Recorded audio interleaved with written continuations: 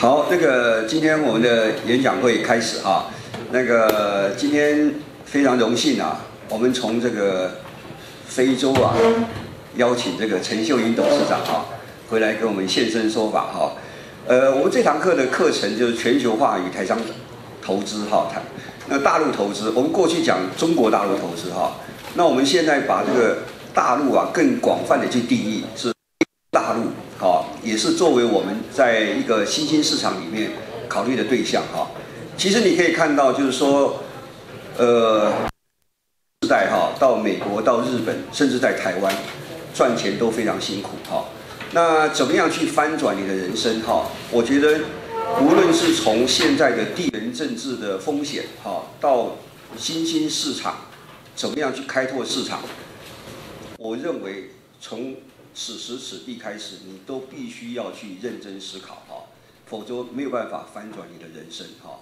所以我想就是说，我们的课堂可能对同学最大的意义在就是说，提供一个多元的一个思考方向哈。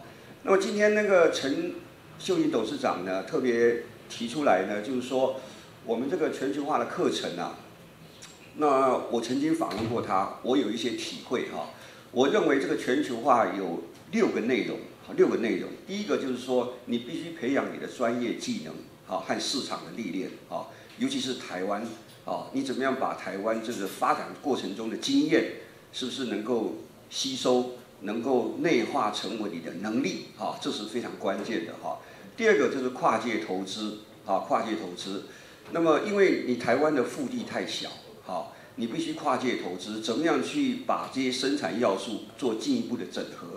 尤其是更重要说，你必须要在地化，怎么运用当地的资源哈？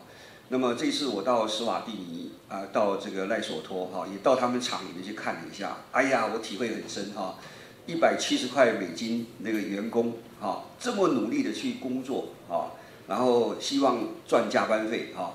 那我们是搞一例一休，搞的这个，那个你怎么跟他竞争，对不对？那你说？非洲人懒和笨，我不这样认为。你看那个，在那么多的，等一下你可以看到，就是说三四千人在那边工作，那么勤勤恳恳的，非常不容易哈。所以我我觉得我这里呃学习很多。第三个呢是企业的运筹和经营能力啊，你必须要有哈。怎么样去运筹个三四千人的工厂啊？怎么样去把全球的资源整合起来哈？那第四个是多角化经营哈，就是说你这个成就你的事业之后。这些世界稳定之后呢，你怎么样有敏锐的眼光啊，进行再投资哈？我想这个东西就变得非常重要哈。那么第五个，经营有成，在地共生。那我今年经营成功很重要啊，你最后要成功啊，对不对？啊，你要跟在地共生啊，我愿意跟在地的人分享，我愿意投资他们，给他们的教育，给他们更多的生活，给员工更多的照顾，这是在地共生哈。我觉得全球化里面。这个层次呢，我想是更重要的。最后呢，是本土认同、公益回馈，哈。所以我想，就是我很佩服这个陈董事长的，就是说他对家乡的支持，啊，那么就是说这个还有对这个啊，呃，社会的关怀，哈，这些所谓的企业社会责任，啊，都是一个很好的典范，哈。所以我们今天特别邀请这个这个陈董事长，哈。我特别把画个图哈，我这一次是走上面那条线哈，那么从台湾去那边搞了一天呐，啊连转机哦，啊，那还有就是在那个呃走这个呃这条线是走新加坡这条线哈，也将近要啊十几个小时啊二十个小时哈，所以这个赖索托在我们而言是一个好像是一个非洲很遥远的地方哈，非洲很遥远的地方，但是呢。呃，它呃也是值得我们重视的一个呃区位哈，所以我想就是说今天啊这个课程特别安排这个陈董事长来跟我们分享啊，他呃看起来就像我们隔壁邻居的大姐姐一样哈，就说我们希望他的故事给我们人生，给我们未来的发展是不是有一些新的启发？是不是我们热烈掌声来欢迎他。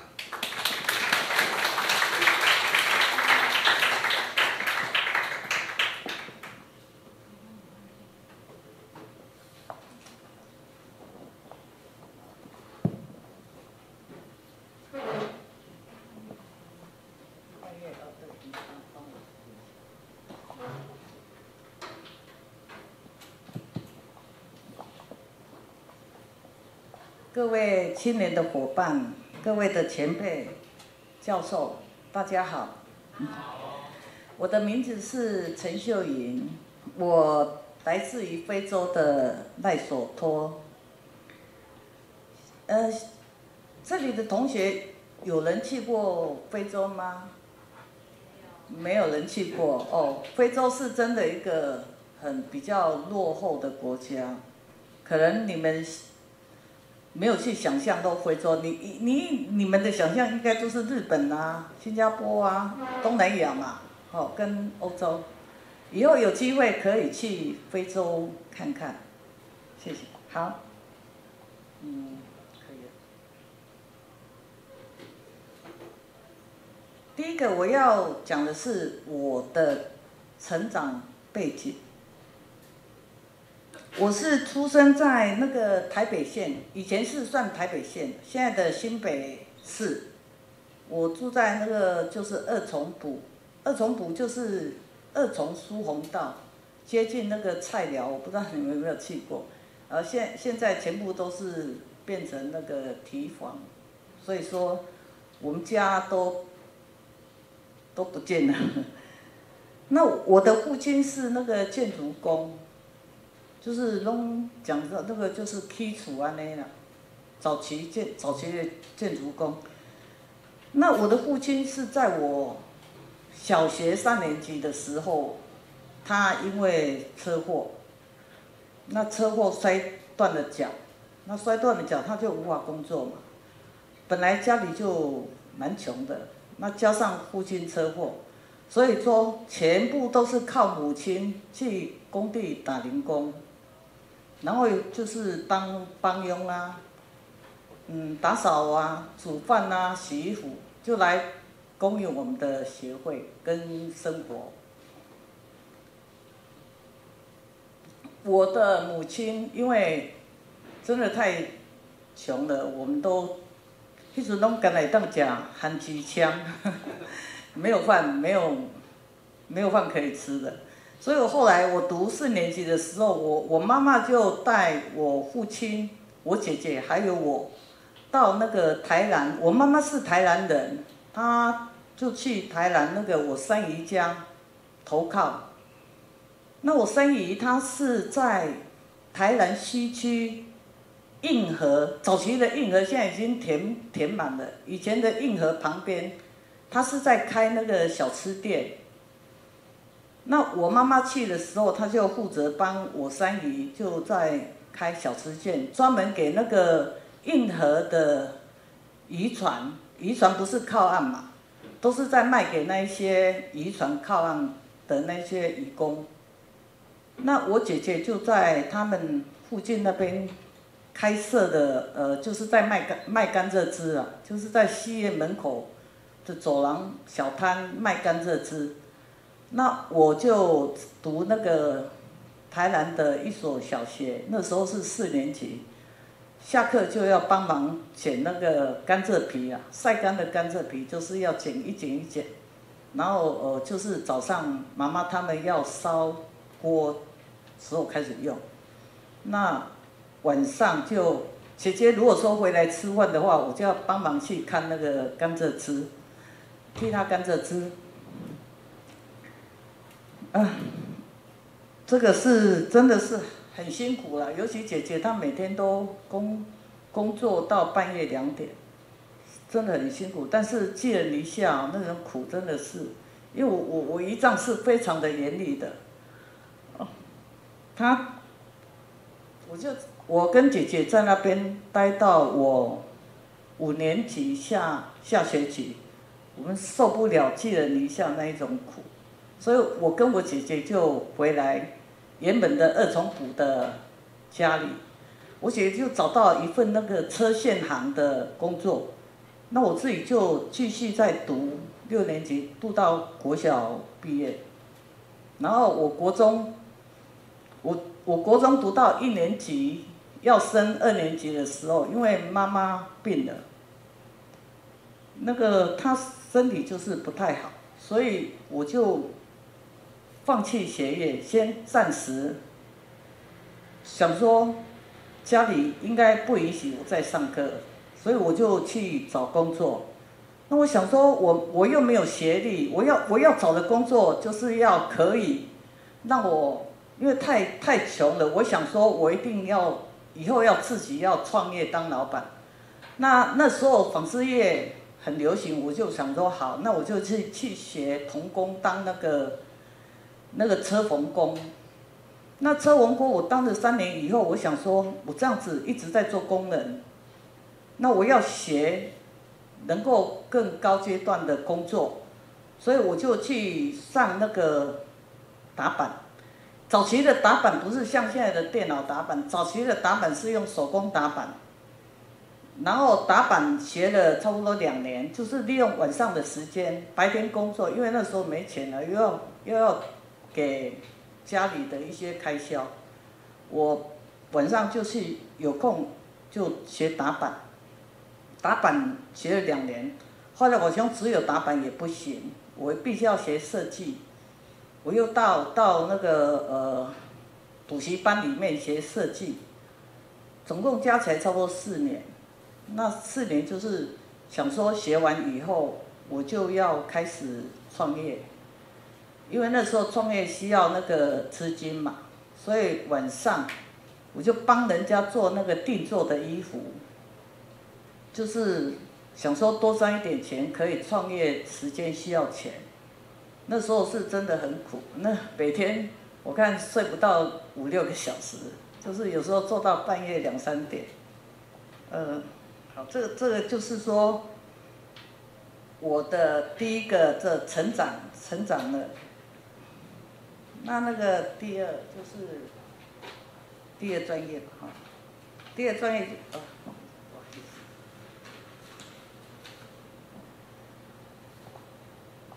那个专业培养和那个台湾的经经验哦，就是呃轻工业的时代嘛，早期轻工业时代我又没有学历嘛。所以说，二零零五年之前我自己创业，那因为那时候是纺织配额的年代嘛，经营成衣需要是哪一些的能力呢？就是除了能接单、会制造，还必须懂得配额。二十一岁时，我当时在台北三重开设一家成衣厂，刚开始是做日本线。啊，日本线就是呃订单很小嘛，当时我想说这订单少赚的钱是有，但是赚的都是微薄的利润。后来我就想说，我应该要换那个美国订单。那美国订单因为订单比较大，如果说要利润可以快点赚到钱，所以我就做了日本线做了六年，后来就转美国线。但是那时候我不懂得配额的操作。导致接很多订单，全部配合亏损很多，因为要跟大厂合作嘛。那大厂有时候配合他要卖，本来报价就卖的比较少，后来他就一下子涨五倍，那超过两倍到十倍这样子涨。那时候就是亏了很多钱。我把我六年赚的。本来六年我还买了在三重龙门再买了一一间房子，结果所有全部都赔光了，就是赔在配额嘛。那把机台设备全部卖掉，那结束营业。因为当时我不能让他跳票，因为我才二十几岁，才三十岁。如果说跳票，我这辈子就完了，我后我后面就没有办法再继续创业了。所以说，我就选择观察。那二十一岁到三十一岁那个时候，就是呃结束台湾的成衣厂，再来就是海外海外的发展之路。说到非洲，你们的印象还是停留在贫穷、疾病的落后吗？那个有没有非洲的？看一下。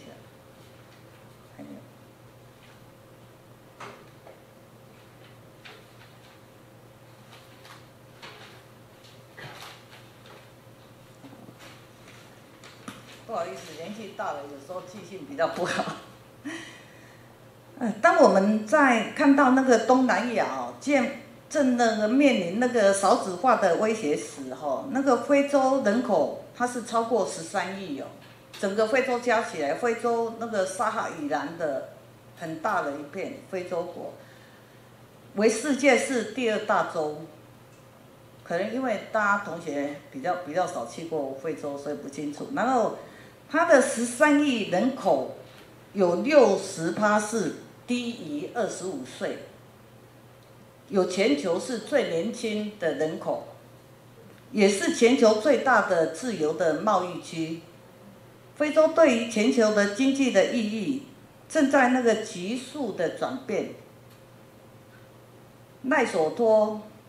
位于非洲的南部，是那个全世界最大国中国，前进完全被南非包包围，它是内陆的，它没有海，什么都没有，就是一个内陆的国家。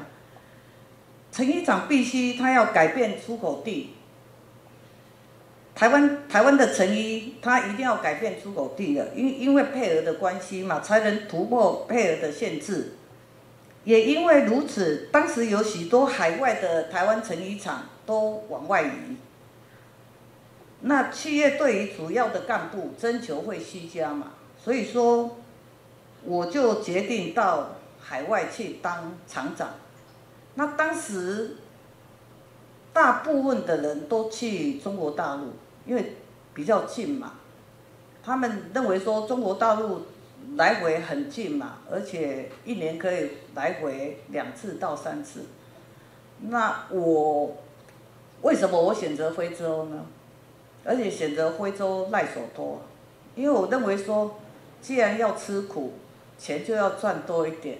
因为非洲国家他给我的待遇，在赖索托他给我的待遇，比在中国大陆多很多钱。那我想说，既然要吃吃苦，到哪里都是一样嘛。那我我原本想说，如果说去非洲奈索多，就一到两年嘛，最多我三年。如果说我赚到赚到钱，我可以再回来大陆，呃，回回回到台湾。那为为什么我会创业？就是我的老板，他因为他在台湾的事业。他出了大问题，那出了大问题以后，他必须关厂。那时候我是在他那边当总厂长，当了四年的总总厂长。我想要四年总厂长也可以的，我就想说有一点赚了一点钱，我就回到台湾。所以说，谁知道会遇到我人生其中一个。转大的折点，就是我那时候在想，我还是还是一样到非洲，因为我有那边四年的经验，他们的文化啦，还有一些什么管工厂、技术种种，我都比较熟悉了，所以我就决定想说，还是到非洲去打拼。那一九九二年，我到了。奈索托就一九九六我就回到台湾嘛，然后呃，一九九六年，我再回到那个奈索托，那个那那个时候就是自己设厂，就是没有没有去打工，就是自己开设，刚当时我是开那个代工厂。那代工厂，我那时候也没有钱，因为非洲赚了四年的钱根本不够开厂的，因为早期的钱都还债都没钱了。后来我就在那边存了三百万嘛，那至少就是要五百万嘛，我就跟姐姐借了两百万，然后总共就是五百万。那工厂成立时的周转金很少，就。只能勉强的请了三位干部，其他很多部门都是我要自己签。那因为我也是科班出身的，所以说我认为说那些都是难不倒的。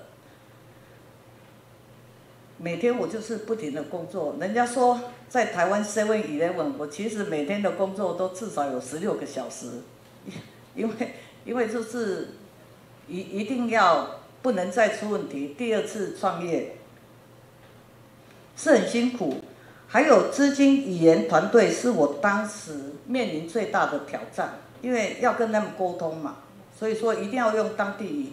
当时在索托，他们的英文很差，他们会讲的都是当地的土语，我还要一直在跟他们学，我就找他们当地的小组长会讲英文啊，就一直跟他们学学一些那个跟他们沟通的语言。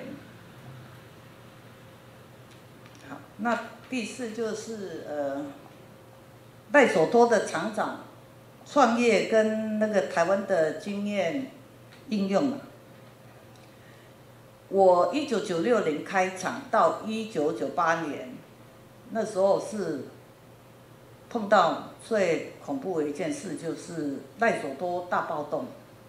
那他暴动的原因就是有一家那个呃牛仔裤厂，他的员工有三千多人，然后当时他们的罢工原因可能是要谈薪水谈不拢。那就引起他们工厂的罢工，那我的厂就在他的隔壁。那罢工后来，因为这些工人就冲到办公室，那很多的干部都全部都躲在办公室里面，所以他们就找警察来来维持那个治安。那警察来了以后，发现工人太多了嘛，就到外面一直把门都冲破了。后来他们就对空开枪。开了三枪，那那个三枪里面就有，呃，就扫射到那个弹头，扫到两个两个工人，就当场往生，所以就是引起引起了大暴动。那大暴动，我那时候不知道，因为我那时候手机是关机，我我还打电话问问那个我那个朋友的高阶主管，我还问他说，哎呀，现在有没有安全？我我想去上班，他说。他们都在里面，应该没什么事。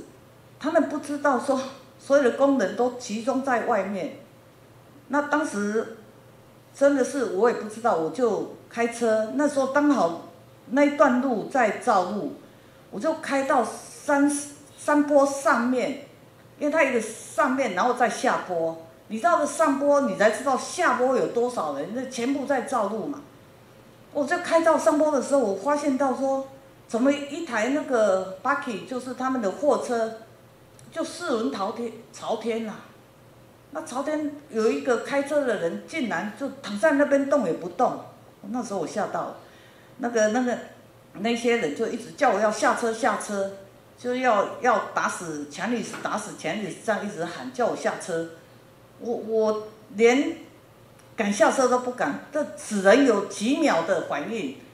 我只能选择说我要冲，我我我不能不能就在那边让他们打死啊！所以说我就一直开车沿路，我就说观世音菩萨要保佑我，因为我有小孩要养啊，还有我的员工有两三百人，那那时候早期在创业，他们也需要工作啊，需要养家，所以我就整路一直冲，冲到他石头一直丢丢到我整个车窗全部毁掉了。但是那意意志力很强，你再怎么被石头撞到啊什么，还好头没有撞到，也没有撞到，所以我就整路冲冲到差一点翻车。那旁边就是有三千人嘛，他拿着石头棍那一直一直打，一直打，打到我都没办法去讲，我就整路冲冲到工厂进去，哇，整个看到了，出来的时候，我我的那个。小组长还有那个，就三个人帮我清身上的玻璃片，清了三个小时。擦删了以后，那时候我真的吓到了，我吓到我不知道我手都不能动，手提起来就没办法提。还有那是轻伤了，没有没有撞到头。后来到了下午差不多两三点，那个南非的军队进入赖索托，他保护我们全部的人都出去。出去到南非嘛，那那那时候我们家里也都住南非，所以我，所以还有我们的大使馆，我们的代表，代表那当时是陈永措的处长跟他夫人就在南汇关口一直做支援，一直帮助我们撤离撤离。那撤到我 Red Brown 的房子嘛，每一家好像都住了二三十个人，就是帮忙帮忙撤退。所以那那时候真的是很紧张，想说啊没有被没有被打死，我还接受 CNN 的访问，头条头条新闻。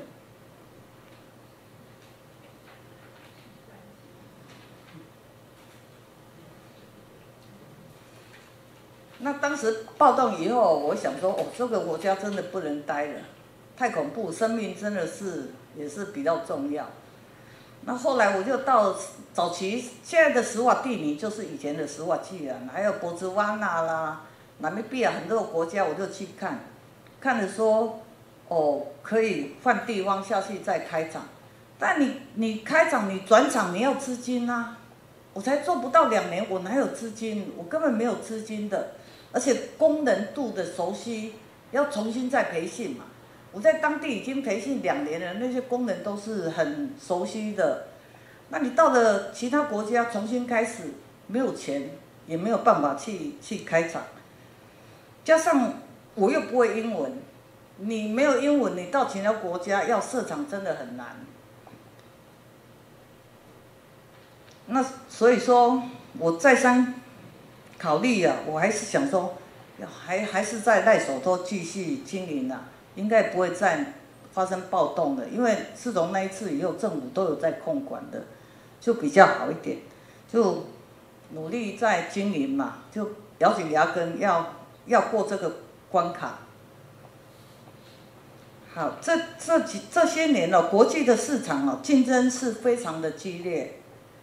非洲的纺织，它为了降低成本，很多工厂都是找供应商来谈谈价钱，就是开始杀价。因为美国的供应商嘛，他经济如果不好的，他就要求你要降价给他们，不然就是被其他国家抢单抢走了嘛。那我在赖索托的工厂，我的厂房占地是三公顷，就等于呃台湾的。一一万一万平，呃是应该三千多平，将近四千平，那是一个厂。另外一个厂就是差不多一千多平的土地，因为我在赖所货有两个厂。那我的产品是针织，针织为主，还有我先介绍一下，这个是太原厂哈，太原厂它就是主要。我员工从一九九六年到现在，就员工人数从两百多人增加到三千两百人。那在当地我也有花几家厂的代工厂，那些代工厂差不多有一千多人的工人在帮忙我们做代工，所以说加上代工厂应该差不多有四千多人的工人。那在代手托算是一个。针织厂我是应该是第二大的厂，我跟第一大的厂是差不多的工人数。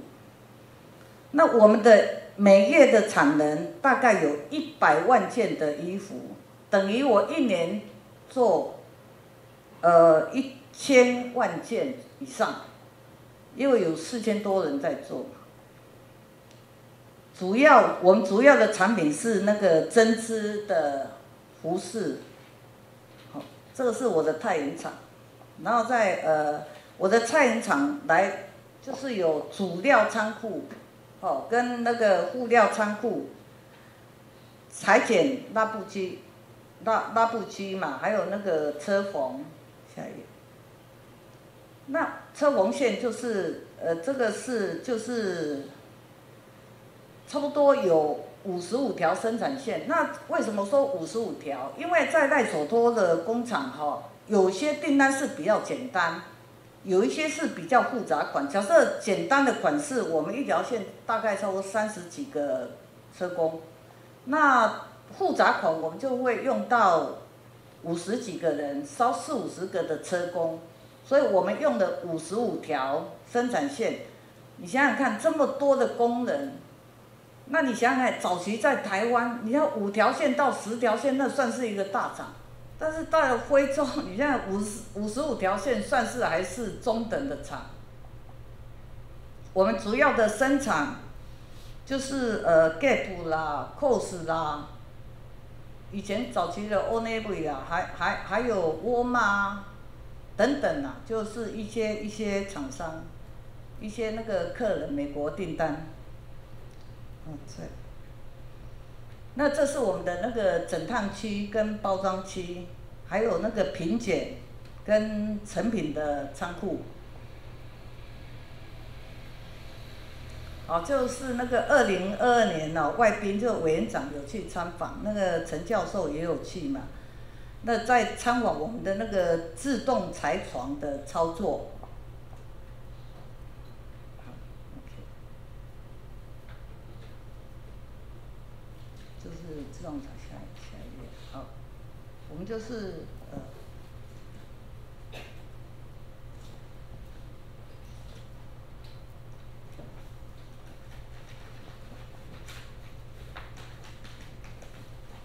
呃，非洲的成长建那个机会法案，就是所谓的阿哥啊，阿哥，就是说两千年它生效，就是某些非洲国家，它是给予零关税贸易优惠，鼓励非洲国家出口，因为他们那些是太贫穷了，吼，他鼓励非洲国家出口，进而促进那个经济的发展。像那个赖手托，它只有纺织业跟成衣业，它没有其他的什么电子业，它就只有靠这个工业。那工人就是只能做，在工厂做成衣或是纺织，他们就是一个人最平均都是母系社会嘛，一一个成衣工至少要养四到五个家人，所以他们是非常苦的。那一般那个成衣进口的。进口美国关税，它大部分都是在十六趴到三十二趴，十六趴是棉的布料，三十二趴三十趴到三十二趴是那个纤维的布料，就是它不同不同的那个呃税金，那这些呢在赖索托它。它是十大国家贫穷之一，所以说它这我们的赖索托到美国全部是免关税，以前是免配额嘛，到两千年才开始给我们的免关税。那成衣厂是竞争是很优势，交期要比较长，如因为运输它是蛮远的，假设我们台湾啊、中国大陆啊、越南他们要。进主护料，主主料就是布嘛，布料就是一些配配件嘛。他们要到赖手托，他必须要三十天到四十天左右才能到工厂，所以工厂它只能接三个月到以后的交期，比如说三个月到半年的交期。那急单，他就一定要在东南亚，那那边的工厂就是没有办法做比较提前于三个月的交期。那目前因为有效期，它的阿瓜方案哦，有效期它是在二零二五年九月就结束了，未未来可能有变数，因为阿瓜的非洲国家现在我们是已经都在美国，呃，有找律师在美国政府部门在跟他们洽谈，我们是希望再次能够延长十年到十五年，应应该是差不多明明明年。左右就会有消息，但是我们有听到消息说应该会再延，应该因为他要帮助非洲贫困的国家嘛。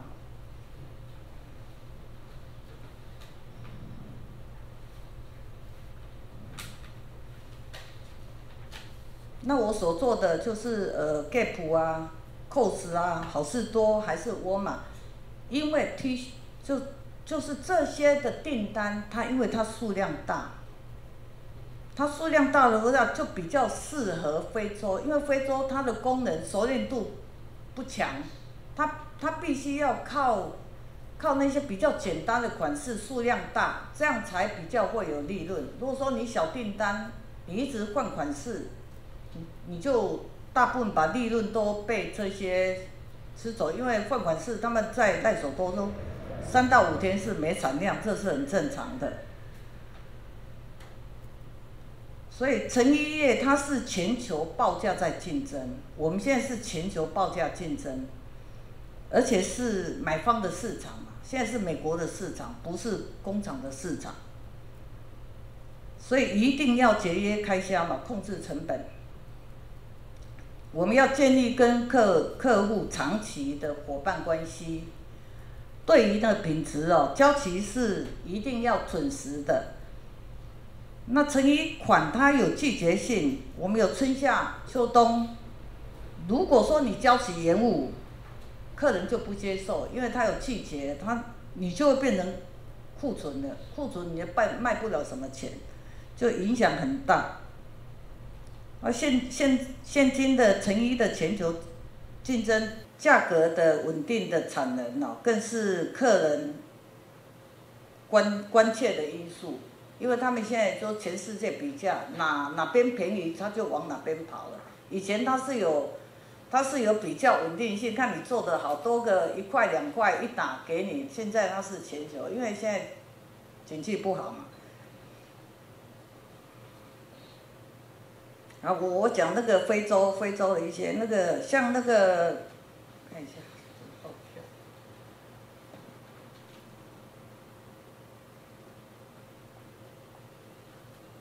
美国第六号，那个美国客户的经营的互动哦，现在事实上哦，非洲很多国家在那个纺织业方面哦，有表现出各自的优势。比如纺织业在埃及，埃及是一个传统领域，纺织品的市场规模在非洲是算名列前茅，因为他们。已经有四五十年埃及他们的那个纺织业的经验的，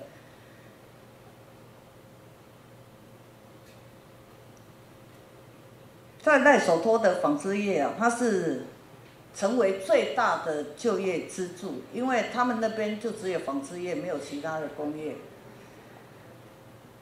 我们戴索托那个劳动力它已经成熟了，它因为在赖索托。像我，差不多有四十年的那个成衣的经验，所以那边的工人都蛮熟练的，技术也都相当好。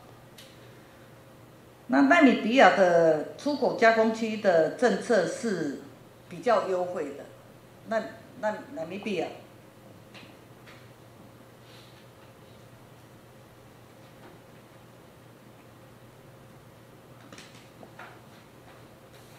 还有莫莫桑比克，莫桑比克的纺织业，它的很它的棉花是很优质的，而且哦，它的劳动成本也很低廉，它也是每个月都不到两百块美金的工钱。如果这些非洲国家的纺织业能够充分发挥他们的优势，强化合作，比如说。共用优质的棉花，加加强成熟的技术工之间的交流，为非洲的纺织业会带来更多的机会。纺织在许多劳力密集制造业，确实仰赖是很多劳动力做后盾，因为非洲什么没有，工人最多，他。失业率太高了，工人就是最多，都在等着等着要工作的。这是非洲的一大优势。世界银行它的统计数据里，两千二零一七年全非洲劳动力的人口就有五亿人，只输给那个中国跟印度。但如果说预估到二零四零年，非洲的劳动力将出现那个黄金交叉，会超越中国。第七，好，这个呃第七页就是这个是我的工厂，就是呃车车缝布的的线。一家新兴公司要降低成本，可以有三三个的路线。我实施这个成本策略哦，大量开发简易廉价的大众品，利用价格的因素，大量去开发对顾客跟企业品牌会产生产生那个忠诚度，因为它便宜嘛。廉价的衣服就是便宜，但是非洲做复杂的，相等的比东南亚技术还落后，所以最好能够接大订单，而且是简单的款式。那现在的资源是集中在买家的市场，市场的呃产品的种类哦都很多。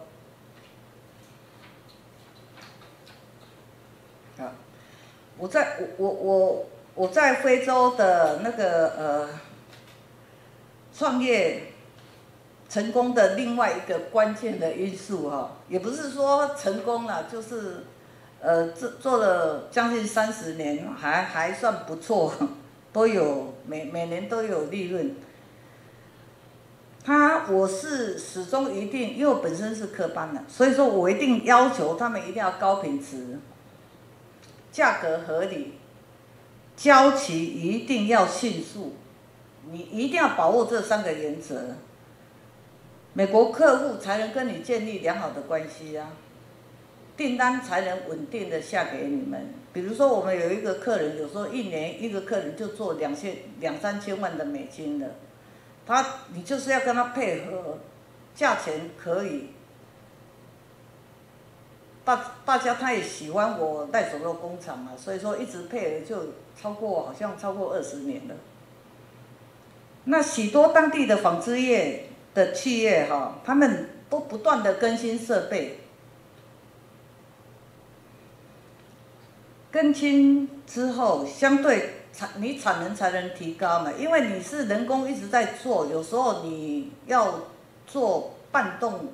半自动的机器化来能提升提升你的产值量，那利润相对也会提高嘛，因为你人就用少了嘛。每年的机器的投资就是变成必需品，你要损耗，每年就是要淘汰淘淘汰一些机器，然后换新的，而且现在的纺织业或是成衣厂，他们的机器设备越来越新。所以，所以说你每年一定要换换新的那个机台设备，这个是必须要，甚至我们要定出利润的百分之多少，然后去换这些机台设备，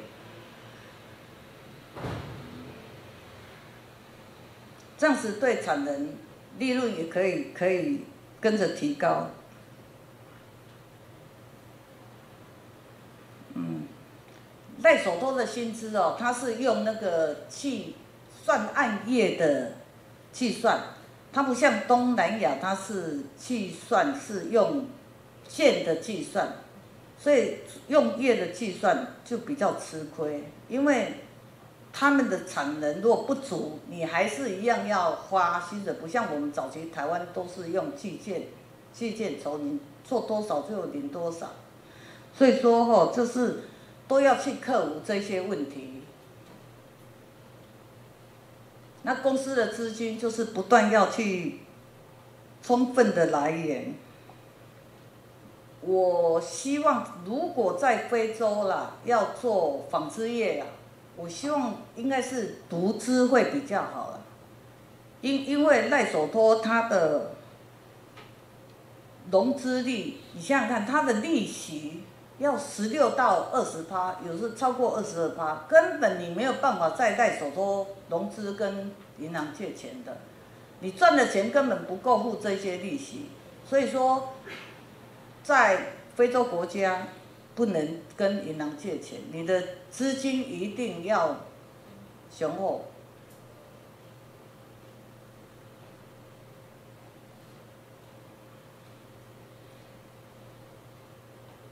我们要随时的提，就是周转金，掌握资金的动态。充分的去利用资本市场上的金金融就是避险工具，将风险跟交易哦成本哦降到最低。独资的经营百分之百股权是比较可以控制管理的。如果说是你你是合伙，常常会有意见不合，所以说独资应该是会会比较好了，但是也不一定呐。而且独资的话可以独享利润呐，不用分钱，赚的钱不用分给别人。呃，因为你沟通还有利润的分配，常常会一个决定，就大家开会就为什么？因为有人就是想说，啊，我们要分给高级干部多一点，有些人就就就意见不合，还有接什么订单，所以。我是认为还是独资会比较好，有有利那个企业的布局啊。那个财稳固财务的结构性健全哦，我们获利的稳定，风险控管严谨，才能改善公司财务结构，降低营运的风险，维持零负债、零贷款，这个是很重要的。然后持续不断的增加财务的专业及风险管理控控制的管理的能力，营运才能在财务的稳健之规划，我要都要做准备的。你，然后就是目前的疫情，哈，谈到谈谈到这个疫疫情哈。其实疫疫情是要面对是全球的经济加通膨，也是真的是一大挑战我我我们从去年疫从前年就疫情开始，到今年，我们必须真的要务实的订单，订单真的不能乱接，不然就马上客人。不出货，那你就变库存，所以就是要选客人选的比较严格去去筛选，财务的运作才会才会才会正常。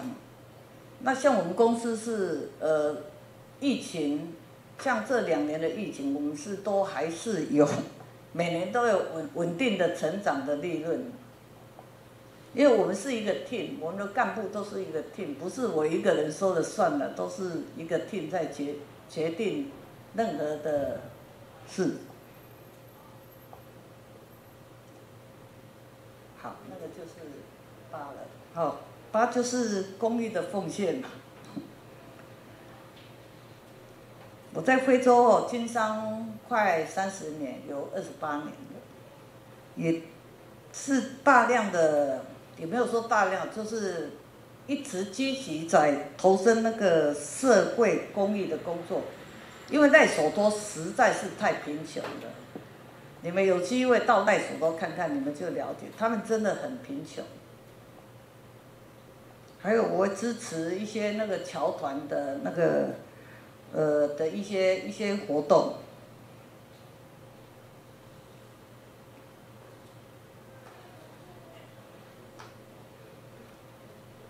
还有我那个对员工还有我们干部的照顾哦，就对工厂当做是社区，然后台湾社会的回回馈哦，你看这些图哦，这个是一家那个赖索托的小学，也不是很偏远了，偏远更严重，根本就没有小学。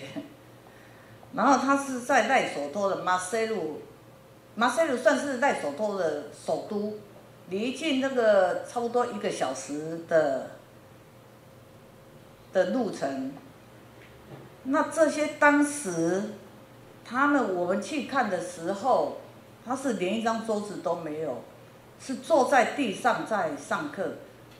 然后他的屋顶一下雨就漏了，整个都是水。也没有那个水泥地都没有，是真的是看起来很心酸。我去看了以后，我回来真的想说，怎么会有这么穷的学生在读书？比我以前真的穷，穷很多。我以前还算是蛮幸运，在台湾。那这些图就是我帮他们做了，总共六间教室，他们是一年一班，还有一个是要接近小学，所以六班的这个桌子、椅子，还有那个文具用品。跟黑板所有的屋顶全部打掉，重新装潢新的，就这这六间的小学，呃，是是是我我我去帮忙他们整修完的。哦，这这是小学小学生，然后再来就是有，就看这个呃这个图，这这两个图，这两个图是那个我。那时候帮忙盖那个孤儿院，就是你们有没有听说阿弥陀佛关怀中心的孤儿院在赖手托嘛？好好多的那些孤儿常常有时候一年或者两年会回到台湾表演，他们讲台语讲得非常好。当时我盖了孤儿院以后，那那时候早期才二十几个孤儿，那他们真的是很可怜，因为里面很多是艾滋孤儿，艾滋孤儿他们就。丢到丢到孤儿院的，那刚刚开始盖的那个孤儿院，那不是只有盖好啊，你还是要给他们那个主食啊，你要给他们玉米粉，他们主食是玉米粉嘛，还有糖啊、盐啊一些，呃一些盐，反正所有的一些玉米粒什么，他们用到的，都都要供应给他们，然后每个月就给他们一些钱去买鸡蛋啊、蔬菜这样。我我我连续几乎都都一直在做这个事情嘛，是好那啊还有哦那那因为我我有做了一些公益的奉献呢，所以我经济部哦在二零一四年十九届的海外台商磐石奖，我受到了肯定。因为就是期盼个人的爱心跟客户的诚信，那带入企业的用心，就善尽企业社会的责任跟义务，就建立优质的企业形象。这个是，然后呃，这个是我到那个银领，银领家福中心，家福中心，他们其实银领我去那边我也是感触良多了，他们很多是。隔代教养，我去的时候才发现到，怎么都是爷爷奶奶带着他们来，原来是很多父母亲都去被关，就是吸毒啊，或是帮派什么很多，所以我看的真的是很心痛。哦，台湾怎么年年这么穷？他们连买买那个买粉的钱都没有，所以看到我我去那边真的也是感触良多。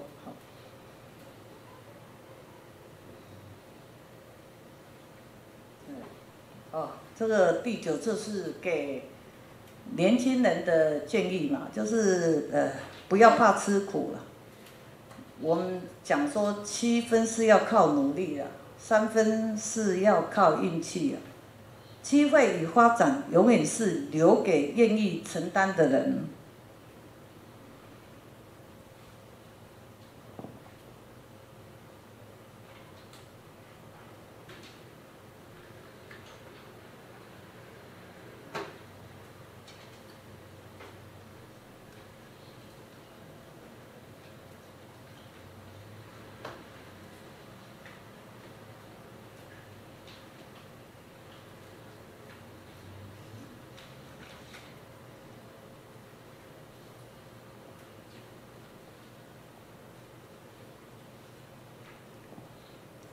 其实第第九题就是我想给年轻人一点建议，就是说，其实我小我小时候就是因为贫穷，所以养成独立的性格。我们把那个吃苦是当做吃补。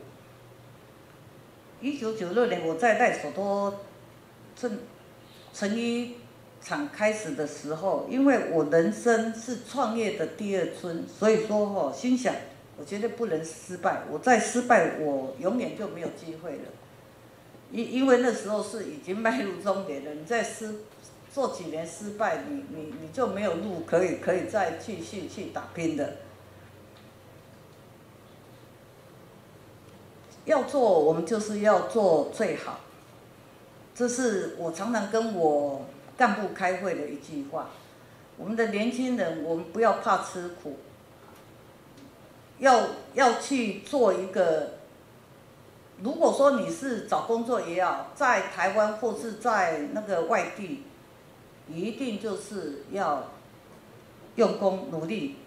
这是这是我常常跟我干部，我也希望我干部自己去创业，我也可以帮助他们去创业的基金。那很常常说那个呃纺织业了，成衣业是夕阳工业，其实没有夕阳的工业，只有夕阳的管理，这是很重要的。如如果说。大家努力的付出，你企业一定可以达到目标。而且在非洲，它是很多的机会，只是很多的台湾的年轻人他不想冒这险去非洲，因为讲实在，非洲是落后国家，而且治安是真的不好。像我们工厂都都有防弹车，所以说真的真的是治安很很差。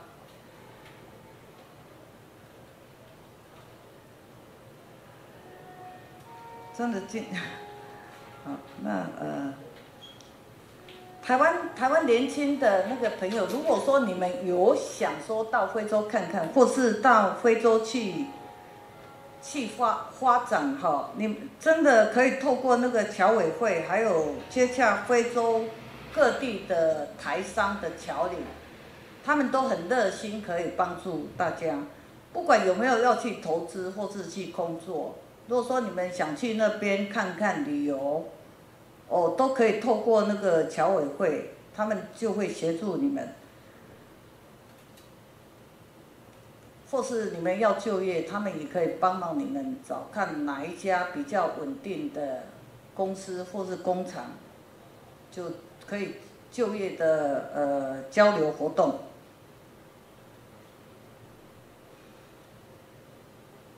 除了我经营的纺织业以外了，代手多其他很多企业也都希望有有人去那边协助帮忙。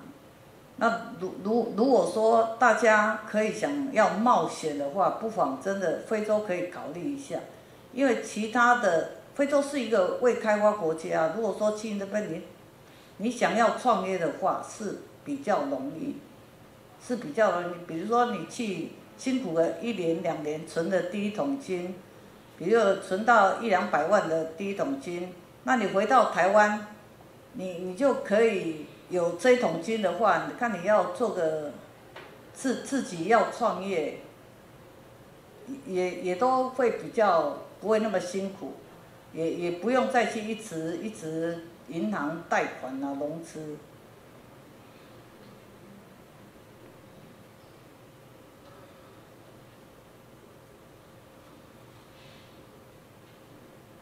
其实，在我的生涯的，就是我的岁月的一半的时间，我几乎都是在走创业的路。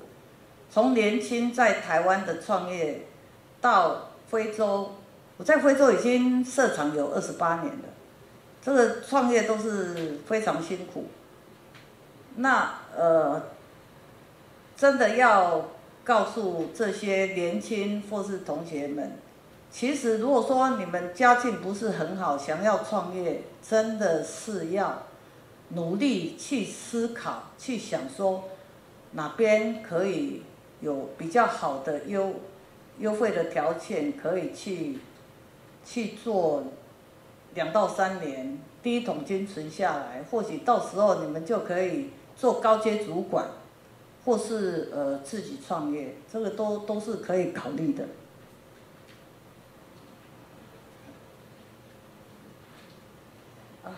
可能时间差不多了吧。好，那我给各位的同学的那个建议是哈，跌倒要潇洒的爬起来，不要在乎自己的狼狈。顺境时你要监控的形式，不可以自我陶醉而忘形。现在就很多人，年轻人或是创业的人，他走在上坡的时候，他就忘了他当时的辛苦。你不要说你在高层的时候，你还是头还是往上看，有时候不妨你低头看一下，思考一些问题，这样对你的人生要走的路可以走更长。因为一个人你在工作也好，你在创业也好，你不可能一辈子都那么顺利，都那么平顺的，你一定会有高低的时候。你在低的时候，你会想说我要赚钱，我要努力工作。等你赚了钱，在高的时候，很多年轻人他或是不是只有年轻人啊，很多在一些呃高阶主管啊，或是老板。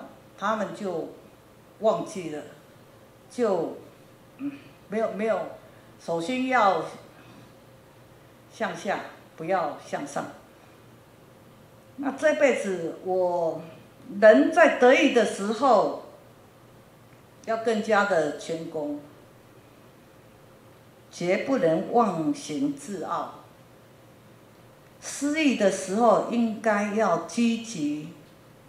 绝对不要去怨天尤人，你要找到失败的原因，重新站起来，就不要再怨天尤人，这样这样一直走不出来。路是靠人走出来的。其实我这辈子我最遗憾的事情，就是说我我我在三重创业的时候，有十年的时间，我的母亲告诉我。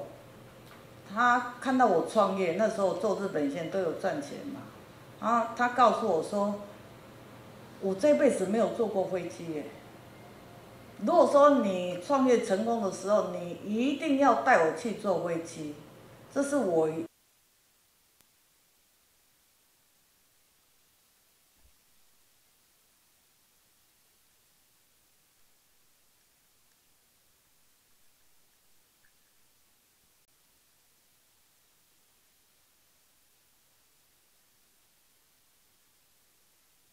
时候还没有成功的时候，他就往生了，所以这是我最大的遗憾。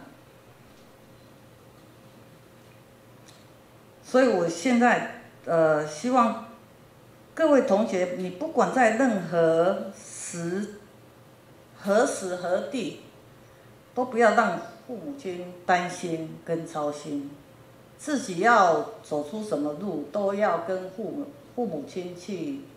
研究商讨，不要嫌父母亲的啰嗦。好，那我谢谢大家的聆听，呃，问题跟回答哈。祝祝各位同学学业进步，谢谢指教。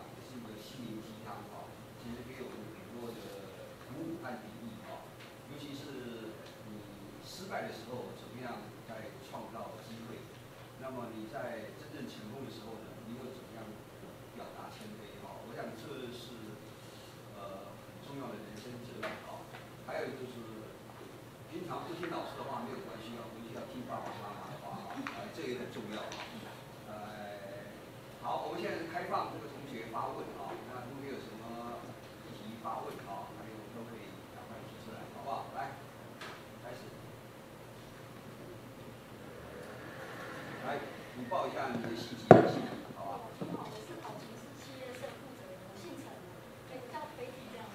站起来讲一下那个口罩脱下来，我听不太清楚。是的，你好，我是飞机，叫我飞机的，我是考勤是企业社负责人。然后我有一个问题是想请问说，就是我很想了解说，你一开始在赖总多创业的时候，你怎么样去找到那些干部，然后怎么样去训练当地员工？因为他们应该是几乎是从零开始。我觉得这个是应该是你很。你问这个问题真的问得很好。其实我在赖索多创业的时候，真的是，呃，刚开始的刚开始的那个干部没有很多，就从三人到我现在目前的干部是七十几位。那这七十几位的干部是来自世界各地，有台湾，有大陆，有菲律宾，有那斯里兰卡种种的，包括连金。那我的训练训练他们，其实这些干部从进去跟我做有四分之三。都已经做二十几年了，有些是做到六十几岁退休。因为我们的干部很少在半途离开的，为什么他不离开这个工厂？一定是有原因的嘛。就是舍就得，所谓舍就得，就是你在找这些干部的时候，呃，他们刚来是领薪水嘛，因因为那时候我除了。除除了台湾的干部以外，其他的干部都是签合同，都是两年的合同。那他们早期他们签两年的合同，他们合同到了那个时候，他培训他们才刚开始，他们才会熟练。就像我们在赖索托的小，我们说那个中阶的干部，后来我们不是用外籍干部，我们就是用当地的。黑人干部为什么这样子？因为他们有一个，有时候他们赚到钱已经觉得满意，他们就想回去，然后这样来来回回一直在训练。那我们的中层干部都是赖索多当地培训他们。那我们有个培训的人事管理部，好，还有一些技术指导的，他们会指指导他们的怎么训练他们。那当然是在训练期间也是要付他们薪水的。我就算临时工的白训练，那中层的干部，假设他们都会留着，因为你都设有奖金跟红利制度给他们，因为他们苦，他们就要赚的就是钱呐。那你外籍干部也是一样啊，他出国，在这他为什么不去先进国家到代所多？因为他的薪水会比较高嘛，而且他能吃苦嘛，吃苦的话，他为了什么要吃苦？就想赚更多的钱，就像我以前打工，我也希望老板给我很多一点的红利的奖金，一样的道理。所以我发现到我的干部，只要他们的产量直到一个目的，他们都有红利跟奖金。那高阶的干部，为什么他们没走训练他们呢？因为就是每年像我们工厂，我们是有。三十趴的净利分给这些高级干部，那个当地不算，我们是三十趴，反正有三十趴给他们，你想想他们分到的眼睛都发亮了，那这样他是不是更愿意打拼？这一个 team 吗？我们不是说哪一个做得好，哪一个就拿奖金，不是，是整个 team，你花的奖金领的一样，就是组长。那个呃，主任以上的当然红利会比较多嘛，包括厂长，再就是经理、总经理，我们是一层一层。那他们为什么会这么团结呢？为什么工厂可以每年的利润呢？就是因为要靠他们，一定要靠他们去管理，然后赚了钱舍得给他们，其实这样我赚更多。好，谢谢你。还有还有这样还有什么补充的？哦，我有问题啊。那个，诶，作为一个企业管理者啊，可能心力储备很重要的啊。那储备，比如说我今天是一个针织专业的，非常专业。但是你今天管理的工厂啊，你要看这个财务报表，对不对？因为因为你如果说这里面。有一些猫腻的话，没有看出来的话，这个损失也是不得了的哈。那我记得你跟曾经跟我讲一个故事，一个大陆的员工，对不对？那在财务报表上，那你怎么样去去有这个专业，可以把这些问题找出来？好，那，另外一个就是说，说，就是说我今天员工所以不愿意走，因为有好的福利制度，好，那你怎么样去照顾你的员工？除了这个给予他们这个一些奖金之外，是不是可以给予他们额外的照顾？就是说我我常常听你总经理说，好像他的小孩子在在澳洲读书嘛，对吧？你都都两两个在那边读大学。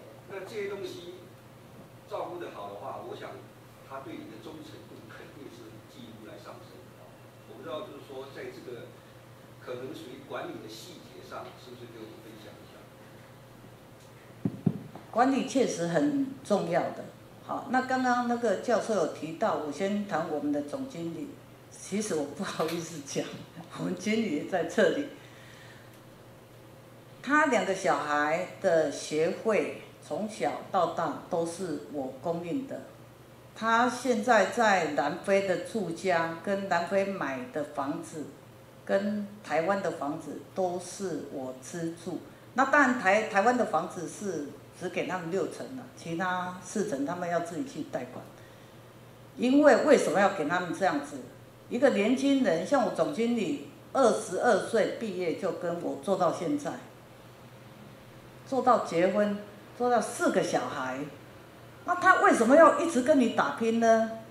你就想说，他真的是比我儿子还要好。说实在的，那他的小孩，呃，有两位，现在是在澳洲墨尔本大学读，呃，大学。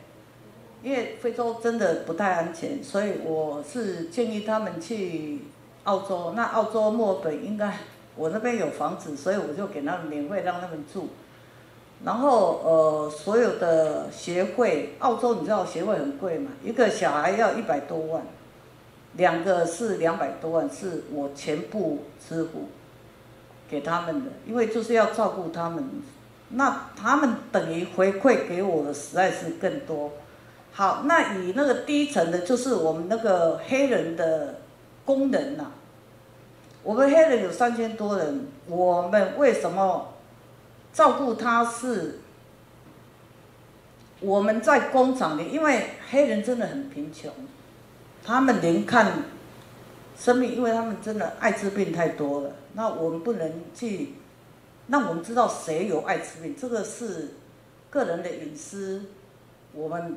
没有办法去知道的，然后他们因为常常是要出去看病嘛，后来我在工厂设三个医疗事务，三个医疗就是我请医生，当地的医生跟护士，然后我他们配了很多的药，需要什么药，我们工厂的药都有。药不够了，他们会开张单子给我们，我们再去补他们需要的药，等于他们的看病都不用付钱的，他们的看病全部免费，都是工厂资助的。那中层干部，比如说外籍干部啊，呃，除了台湾就是中国干部是最多的。我我现在目前赖所都的中国干部有六将近六十位，以前还更多，以前有八十几位。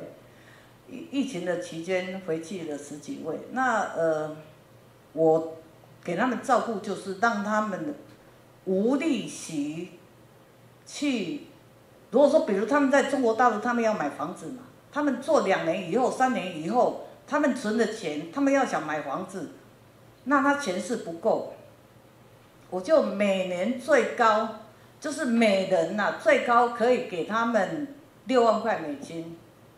让他们在免利息的，然后呃四年，四年还偿还了。当然如果说没有办法还的，就在延了。那就是让他们有一个稳定的说，在这份工作虽然很辛苦，但是他们在中国大陆或是在菲律宾啊，都有可以买到想要的房子，就是用这样子帮助他们。那那个黑人，因为你知道吗？他们黑人的当地工，他们其实很辛苦，因为他们真的没钱。他们在跟外面借贷的高利息，二十趴到三十五趴，在发薪水的时候，外面就等着一堆要债的，因为他们没钱嘛，他们只能领完领领了薪水以后。才才有钱付这些钱嘛啊！有些小孩子要教育学会，他没钱，他就去借高利贷。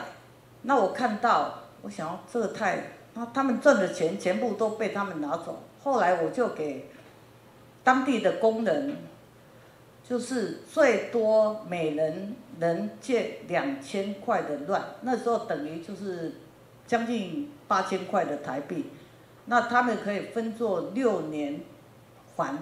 但是如果说你要超过两千块这个额度，那必须有当地的，像我们的里长或是领长那些，他们要要要讲出来说他用钱要花在什么原因，那我才会借给他们这些全部免利息。所以因为我设了这些以后，其实我工人很少走的，很少走，很少走，黑人还有干部跟。台湾干部不用说，台湾干部是从从小就做到现在，好像我们没有放过人的。台台湾的干部也没有换过一个人，都是进来就是一直做，因为我们是，就就是比较让他们觉得说啊，这个企业都他们一个 team 在经营，不是我说的算，因为有时候我也要听他们的意见。那你说在这个财务上的问题，其实。我不看财务哎，讲出来会被人家笑。我赚钱什么，我是最后一个知道，因为他们自己会去计算，他们每年他们要分什么钱啊，他们都计算好。那我希望说有有这样子，我很轻松啊。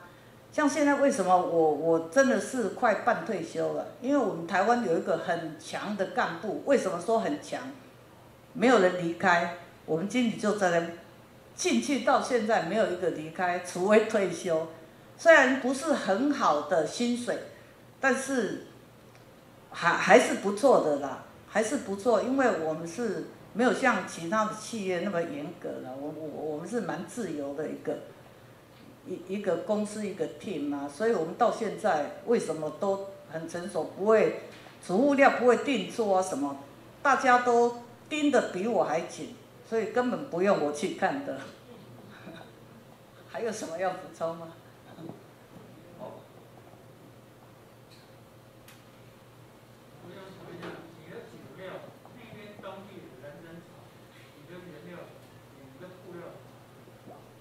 对对，这个这个我刚刚漏掉讲。其实我们的接订单哈都是百分之百是做美美国线，因为美国它是免配额免扣打。去美国再来说，托全部是免税的，然后它的主物料都是从中国大陆、越南还有台湾这三个国家集成出口，因为那边他们只有工厂，没有没有其他的的什么衣架厂啊，或是什么都没有，就只能靠第三国，所以说全部都是要依赖第三国。这样子的话，所以才一个礼一个月到四天才能到工厂，所以不能做急单。我所谓的急单就是说交期很短的订单，因为那边就不适合的。好，谢谢。有，因为我们针织厂哦，不是像牛仔裤那个洗比较麻烦，我们的水洗就是一般洗，就用清水洗一洗。像我们以前做 Gap、o n l y 他们就是要水洗。那 Gap 洗水它很简单，其实它是用清水下去洗一洗，然后脱水烘干，让它干了以后，那再来量尺寸的缩力。如果说缩力不正确，那就要赶快是调调改版的，因为很多的布的棉布都缩力都比较不稳。那还有什么可以？我想问，就是如果未来安波瓦的有效期限就是到期了，而且不幸没有继续延长，那未来有没有打算朝什么方向发展？哦，这个这个很麻烦，因为非洲如果说没有这个阿波啊，没有一个国家可以生存，没有，因为他们的薪水也是越来越高了。不像早期那种薪水都五六十块一个月，呃，就相等的，现在薪水都一百七到两百，而且也不是只有薪水啊，有时候会付他们加班费吧。所以所以说，如果没有阿哥啊这个，到二零二五年嘛，还还还还有这个两年多的时间，如果说没有的话，可能就是要移转到其他的国家去了，这个是一个很麻烦的事情。那当然这些问题，美国也都知道的。因为美国大使馆在那边全部都监控，他们都很知道。他们也知道非洲不是只有赖索托嘛，斯瓦蒂尼、波茨湾呐，还有那个很多很多的非洲国家，他们都是依赖这个阿哥啊。因为没有阿哥的话，你赖索托跟其他非洲都没有办法生存。所以应该，我想应该还可以。谈判，因为现在已经陆续律师都在跟政府的官员部门都有在讨论了。因为非洲国家出到美国，他所使用的阿哥啊其实不多。非洲加起来，像肯亚、赖索托啦，还有嗯斯瓦蒂尼，它加起来到美国的纺织品跟成衣厂没有超过五趴。那中国大陆到美国是七十几趴，所以我想美国不会为了这个一点，然后又可以帮助非洲有就业机会嘛？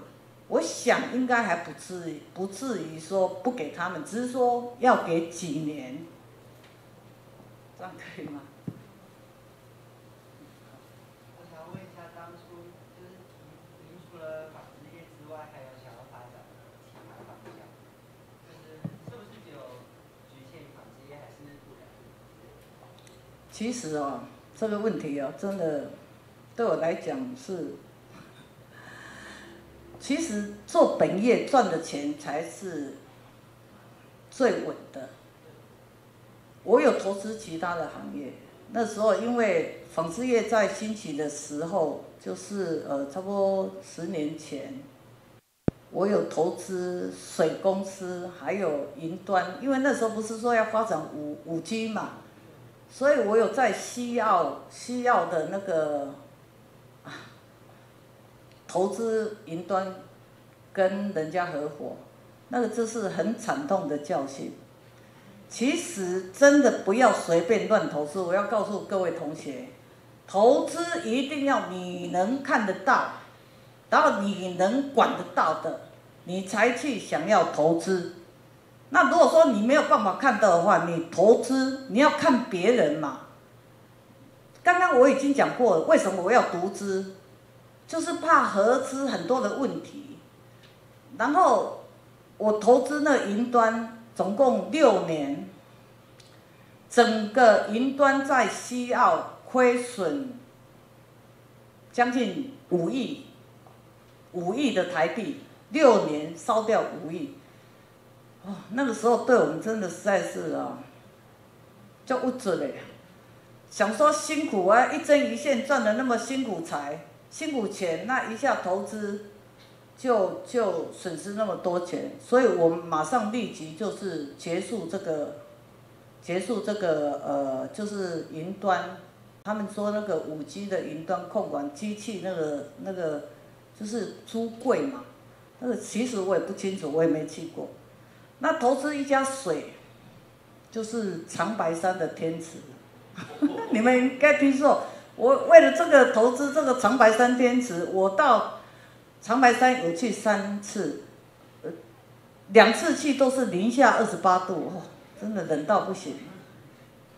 我去看那天池，天池是很美，他们说那个天池出来的水是全世界最好的水，我就被骗了。这货，怎么这么好？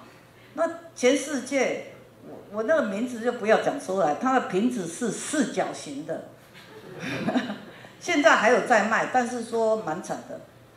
因为那时候投资，我们也是出了一千多万的美金哦。我们有六个人投一千多万美金，结果投下去，才知道这个不是台湾的老板。他幕后的老板是中国大陆，所以很恐怖。我们投资去的钱全部被他转走，那那个我我们两三年就知道，就赶快赶快就认赔了，没办法。所以所以投资真的是非常的重要，尤其年年轻人哦要投资，真的要非常小心，非常注意。好，谢谢。这个投资啊，在大陆投资不过要超过山海关，过了山海关之后，这问题就很多啊。但是秀云董事长其实 他最成功的还是在二零零三，你讲一下，就是说怎么样房地产啊这个产业，其实是是呃还需要敏锐的眼光哈，那很精准的投资哈，是不是可以我们分享一下？那同学有没有要先问还是？哦，好。陈教授讲这个房地产，我实在是没有，我也没有投资很多。但是我的认为就是说，我从小就很穷，而且那时候没房子的时候，我到处租租房子嘛，有时候一年搬三次家。这个这个是在我来讲，这心里中想说，我以后有钱，我一定要买一个房子，不管不管是呃多少平的都可以。尤其我那那时候很很想说，哦，假设我我我到我朋友家，那他在敦化南路，那我去过仁爱路，我想，这个地方怎么这么漂亮？我从来没来过。假设我有钱在这买个房子，哪怕是老房子，然后我存款五百万，我这辈子有一部车，我就过过得非常好的。那那那时候是这样子想啊，所以才到非洲去。那二零零三年，因为我已经做了，我一九九六年嘛，到二零零三年已经有七八年。为我赚的钱的时候是在两千年，两千年那时候阿瓜开放的时候，我大量的接订单。一直扩厂，一直扩厂，就是本来两百多人一个厂，扩到三个厂，变成三千多人。那时候是真的赚的还 OK 了，还不错，利润都是很好，都是两位数以上的。那到了两千零三年，我想说，哦，这些钱哦，因为被骗哦，是真的是很惨。要不然我把这些钱，我就一定要投资房地产。那房地产要怎么投资呢？我我我告诉各位，要买房地产最好，如果说你有钱呐，宁愿买在买在那个台北的蛋黄区，哪怕你是二十几平、三十几平，或是一百平，你有以能力的范围，就是投资在台北的蛋黄区，然后就在捷运的附近，比如说捷运三到五分钟。这个这个一定是你要卖或是要出租，都是会有很好的收获。所以我两千年开始，我就投资台北的淡湾区，比如大安区、中正区，还有呃内湖，就提顶大道那一边。然后呃国外也有投资啊，就是买房子。那那那时候。两千零三刚好是 SARS 啊，那个很便宜，台北市的房子真的都很便宜啊，以前都三十几万、四十几万一平就买到，蛋黄区有，而且是大安区有，现在那一平都要一百多万了，所以说我在投资的房地产还不错了，还还还是赚的蛮多的利润啊。还有什么要？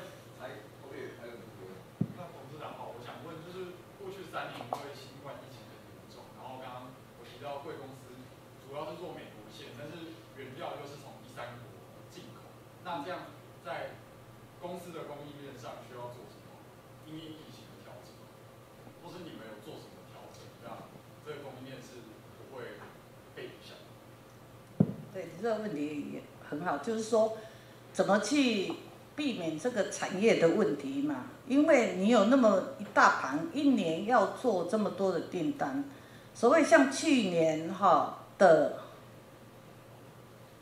比较严重嘛，因为去年 SARS 那个好像是去年二月、三月就很严重的嘛，到到了那那个是疫情最严重的时候，那我们那时候订单是非常多，因为那时候美国的景气非常好，我们的订单真的很多，那很多，但是呢碰到疫情全部停工。好像有的是两个月，有的是三个月，那是没办法被被迫停工。然后很多家厂他们停工，就想说停工就没有花钱给那些黑人嘛，工人。你像那黑人没有钱，他怎么生活啊？后来我我是认为说，我可能比较佛心一点，我都给他们半薪呐，三个月都付他们半薪，所以我付了很多很多薪水。那中国干部都给他们，外籍干部都给他们全薪，因为我想我的认知就是说，那你以前赚的钱呢？你现在疫情不好，你就要给人家砍掉，不给人家这个说很不合理嘛。那你说那个同学说应用这一些，我们的应用办法就是说，你在休息三个月的时间，你赶快跟我的客户，我的客户就是美国，就拜托他说延交期，就是因为我们的停工两三个月，我们就延交期。那美国很现实的，真的，他如果说你是他的配合厂商是很好。他一定会帮你，因为他需要你的厂。像我们厂就从来没有 delay 过，而且质量、产量都做得他非常满意啊。他一定要帮我们，所以那时候我也很怕说，哇，厂的要空运很多钱。其他我们附近的一家厂，他为了这个没有办法配合，他空运的超过五百多万美金。我我想到我这五百多万，我对我来讲，所以我就跟美国谈判。我们就跟他谈判，就是说，我们一定要延后交期，请你要帮助我们，不然我们撑不过去。就直接跟他讲，因为空运那么多，怎么怎么怎么赔嘛？那你订单还是那么多，我们整个仓库全部都是布，挤到不行，连宿舍啊，所有的会议厅什么全部都挤布，因为就休息三个月，所以说会货柜还是要进来啊。那还有，这就是。进去了，我的美国那个客人，他真的非常的帮忙我，他竟然让我的订订单哦，已经要出口的，他让我延一个月到两个半月，哦，那时候我就松了一口气，就松了一口气，但其他厂或许没有这么运气，所以说我们要应变这一些。不知道的因素，你常常会有有时候像这暴动跟这个疫情，谁也没有办法去想到啊。你就要准备，讲实在一句话，因为我三个月没出口吼，我那些就几百万美金就停在那边，至少你资金，你三千多人工，你至少资金五百万以上，美金我说美金，所以。我们在做任何事情，就是要稳扎稳打。你有多少钱，你做多少生意，你口袋一定要深，现金的流量一定要有。哦，那那我是运气好啊，所以我没有空运到，我都没有空运到，安全，就是非常安全下装。这是我美国客人对我真的很好，到现在我们配合二十几年了。到现在，他们还对我们相当的好。其他的其他国家，他们没订单，他还是下很多订单给我。只是订单以现在的高通膨，美国就减少订单量，就是减少四十到五十八。所以我们现在，呃，外面的代工厂也就没有办法花了，先顾我们的自己。然后呃，就是明年也不知道。什么时候有订单？这个就是一个，大家就是很一一直在想说，美国什么时候景气恢复？那你景气恢复现在未知数啊。我们现在都是要靠他的感恩节啊，或是复活呃呃那个感恩节跟那个，对，他们如果卖得好，我明年应该。就明年第二季啊，第二季应该就会正常。但是你这之间你的半年呢？你半年你的工钱也要支付啊，你的原本的水电费开销种种都要支付啊。所以说这些钱就是保命钱都要留住。还还好我们是比较稳的稳的一个经营者，因为当时我也想过，我的买那个房子，从来没有一毛贷款。为什么我这样子想呢？别人就说你这算太少了，你可以去买两间、三间这样子缴利息，你卖掉可以赚更多钱。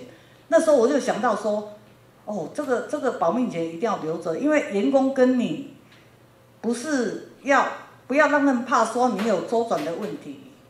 所以说，现在假设真的很需要钱，我们的房子还可以去抵押借钱，这样子就可以熬过这差不多至少我看要半年以上。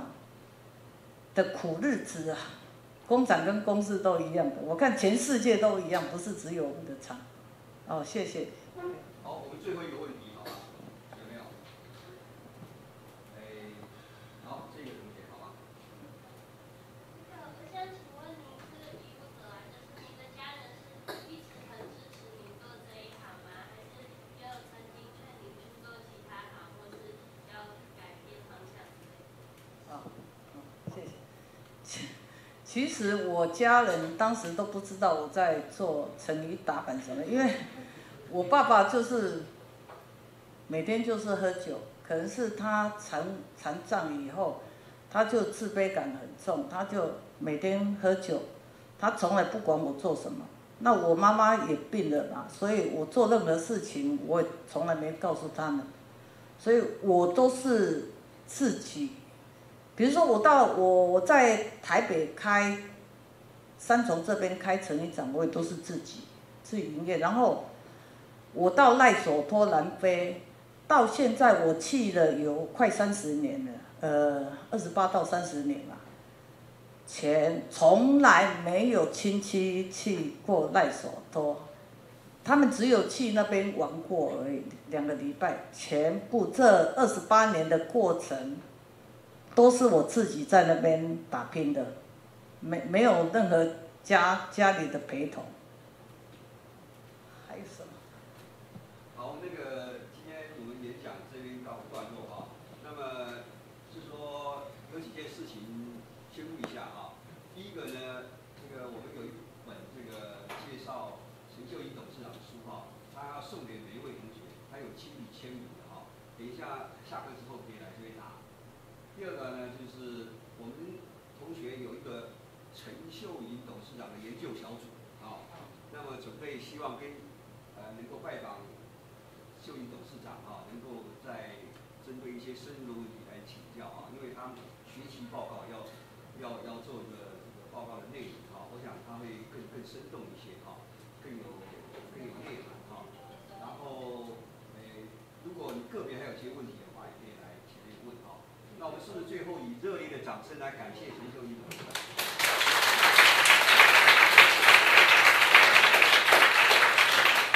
真的真的很不好意思，真真的哦，这个我们所有真的很不好意思哦。我我跟你们讲一件事，今天是我第一次演讲，所以有时候讲的哩哩唠叨，希望各位同学不高抬贵手。真的，我很感谢你们的聆听，谢谢谢谢。绝对没有滴滴答答啊，所以我们把所有内容啊都会做逐字稿啊，然后我们下一本书呢就会有这个具体的内容，然后我今天的内容里面我可以抽出十句的金句，其实对人生是很有启发的。好，到时候再跟同学来分享。好好吧，谢谢。